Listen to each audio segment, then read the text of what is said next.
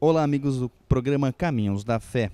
Neste domingo aconteceu mais um encontro da Escola da Fé e nós conversamos com a coordenadora da Escola da Fé, Joandra Marques, que fala da alegria de poder nesse segundo semestre estar ministrando mais uma Escola da Fé nesse segundo semestre de 2018 o segundo semestre da Escola da Fé, iniciamos domingo passado. Estamos com 38 catequizandos e algumas pessoas que acompanham junto, esposo, esposa, que já têm os sacramentos, né? Então é muito legal, serão 10 encontros, é uma escola bem rápida, porque não temos feriado, não temos. está bem rapidinha.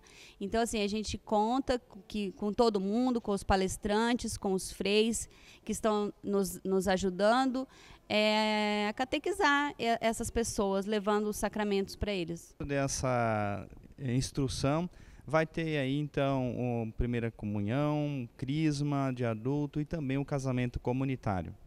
Sim, Joel, é o batismo, é a primeira Eucaristia, a Crisma, encerra a Escola da Fé nesse segundo semestre, no dia 15 de novembro, com o casamento comunitário. E aí, só o ano que vem de novo, outra escola.